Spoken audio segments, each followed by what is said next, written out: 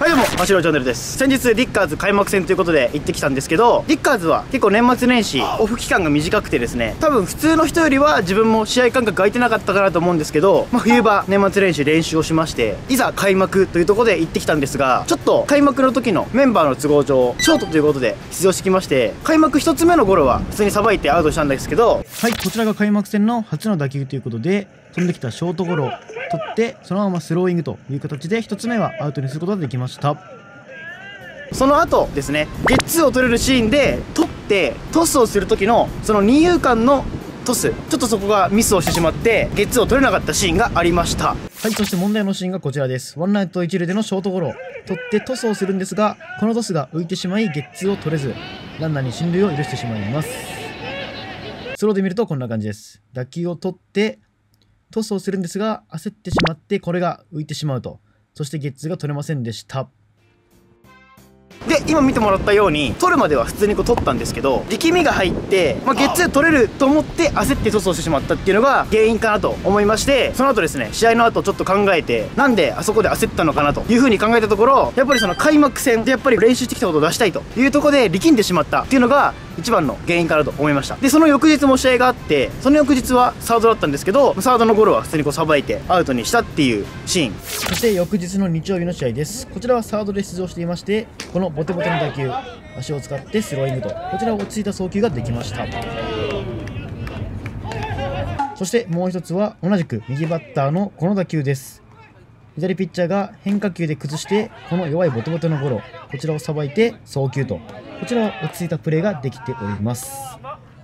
でこちらのシーンでは土曜日の反省を生かして、まあ、力を抜いてというか脱力して守備に入ってたんですけど、まあ、サードセカンドの方が慣れてるっていうのもありますがやはりこう脱力してボールを取って投げるっていう動作ができたのでその開幕戦で起きたミスっていうのは、まあ、すぐにこう原因が見つかって修正できたっていうのは大きかったんじゃないかなと思います、まあ、これが大会とかでやってしまうと結構深刻な問題だと思うんですけどやっぱりその開幕戦でミスが出たっていうのは個人的にはまあ良かったのかなという意味で考えております。でその後ですね土曜日1試合日曜日3試合リッカーズを行いまして群馬帰ってきてグローブを手入れしようかなという時にですね脱力を意識して入った試合が2日目だったんですけどこのグローブのこの指先がですねかなりこう土で汚れてましてこれが自分が昔から意識してるピッチャーが投げてインパクト前にこう少しグローブを地面にこうついておいてスタートするっていうのが、まあ、自然とできたのかなと思います。はいこのシーンがこちらです。打球の前なんですけどこのグラブを1回下についてここから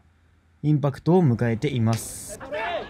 ショートの時は、まあ、人工芝で汚れることなかったんですけど硬くなってミスが出たっていうのもあったと思うんですけど日曜日の試合は地面からグローブを使えたっていうのでこの指先の部分が黒くなって、まあ、本来のというか去年の年末ぐらいに行われた守備と同じような感じでポジションにつけたかなというふうに思いました。で今回そのテーマとして脱力って話してると思うんですがその脱力について考えてる点が自分2つありますので本日はそちらを動画にしていこうかなと思います。はい早速やっていくんですけど2つお話しします。1つは、まあ、最初にも言ったようにこう硬くなっちゃうとどうしても先が見えなくて固まっちゃうっていうの。これは以前からも話してると思うんですがもう1つのポイントがですねこう下につくことによって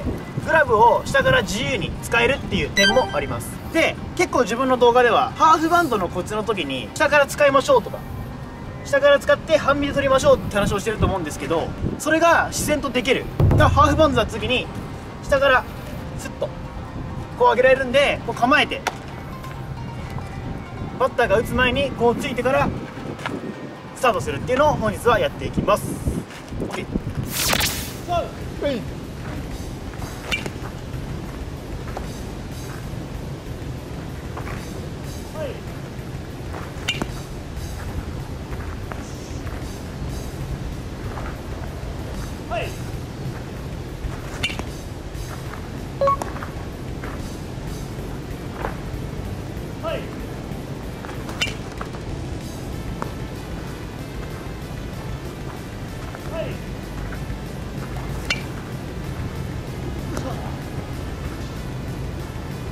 place.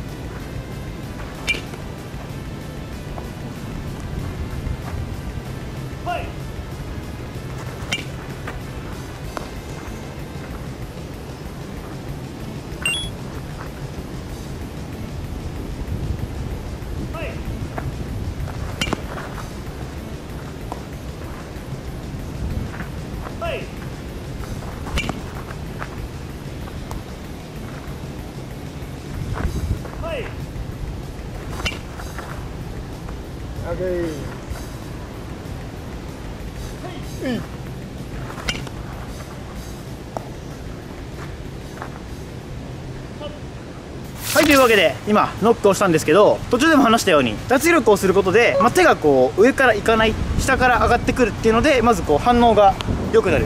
こう使えるんでいいかなと思います。あと脱力っていう点で結構守備の上手い人はこう力みがないというかボールをこう吸い込むような感じで映ると思うんですけど、まあ、自分もそれを目指してまして力を入れずに取ってなんか歩くように取って歩くように送球をしていくっていう綺麗というか軽いというか力みのない守備っていうのを自分を目指してやっております。でポジションによって腰の高さとか変わってくると思うんですけど、まあ、やっぱりセカンドショートよりもサードの方が少し体勢は低くなるんでまあこうグローブもつきやすいと思うんですが自分に合ったこの腰の高さっていうのがあると思うんでそれを見つけてほしいかなと思います。低すぎても動けないし高すぎても動けないと思うんでその自分が一番1歩目を切りやすいまあ理想で言うとこのパワーポジションっていうのがあるんですけど、まあ、盗塁のスタートぐらいの高さ。をちょっと今取ってみて皆さんもですねどの体勢がスタート切りやすいかなっていうのを探してみるといいんじゃないかなと思います。でこれに関しては、まあ、個人差がありますので、まあ、自分はこういうことやってるよというのがありましたら下のコメント欄に書いて教えてください。で皆さんで共有していただいてあそれいいなとかこれちょっと練習でやってみようかなっていうのがあれば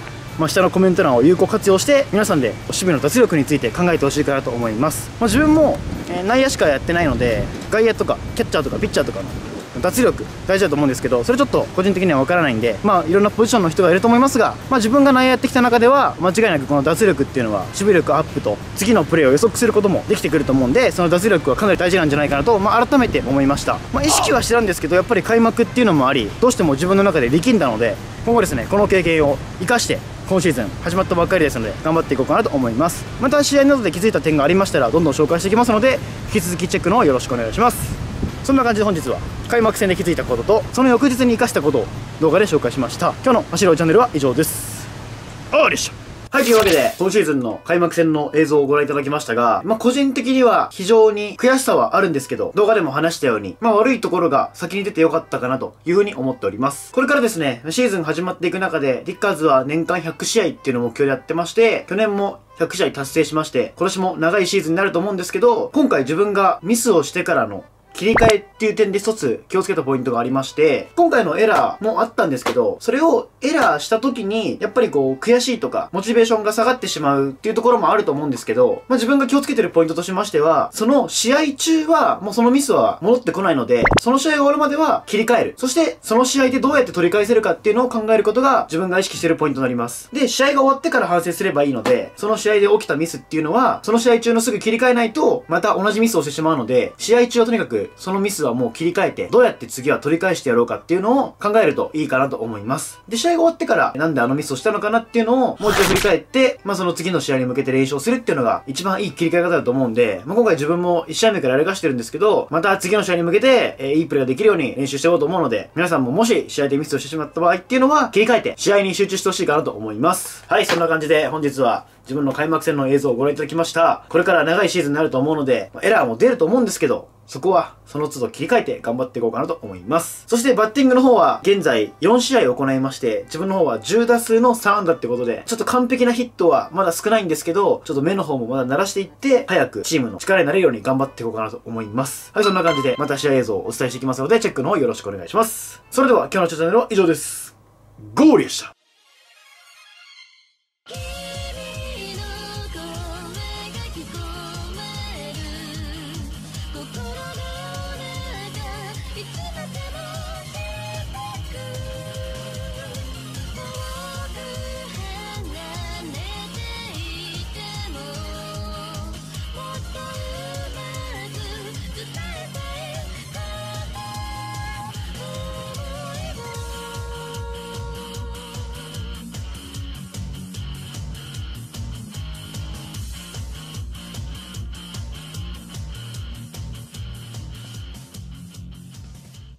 そして今月のプレゼント企画です。今回はこちら、自分がお店で発見したハイゴールドの軟式用グローブになります。こちら、ブルーとブラックの2色のカラーでして、ブラックの部分がヌバック素材になっております。珍しいグローブかなと思いますので、こちらをぜひ皆さんに使ってほしいかなと思います。チャンネル登録コメントで応募完了です。たくさんのご応募をお待ちしております。そして今月はまだ追加がありますので、チェックの方もよろしくお願いします。